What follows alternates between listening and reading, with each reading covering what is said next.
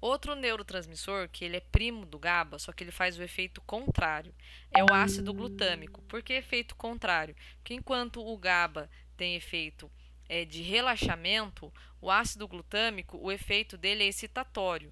Então, ele aumenta a transmissão entre os neurônios, ok? Então, um relaxa e o outro aumenta.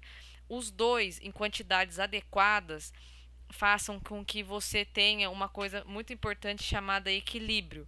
Né? Se você tiver excesso de GABA, você vai acabar tendo problemas na sua vida, porque você não vai ter os reflexos muito bem acentuados. Por exemplo, o GABA ele é um dos neurotransmissores afetados quando você ingere bebida alcoólica tá? Então, como eu falei lá atrás na aula quando era presencial, que você tinha, né, muitas vezes a questão, né, do álcool interferindo nos neurotransmissores, é isso aí.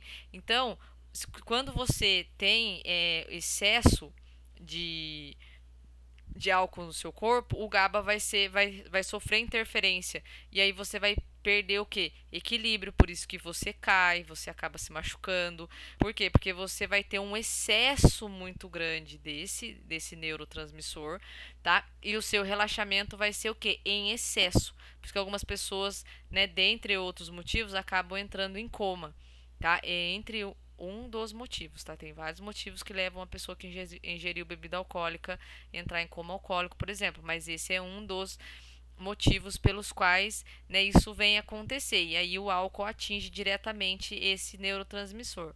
Tá ok? Então, o GABA do relaxamento e o ácido glutâmico é o, o neurotransmissor excitatório. Então, é ele que faz com que você dê respostas mais rápidas. Por quê? Porque ele aumenta o impulso elétrico entre um neurônio e outro, ok? E aí a gente vai, vai começar a falar um pouquinho a respeito de massa branca e de massa cinzenta ok? Mas aí eu volto num outro videozinho para não misturar os assuntos.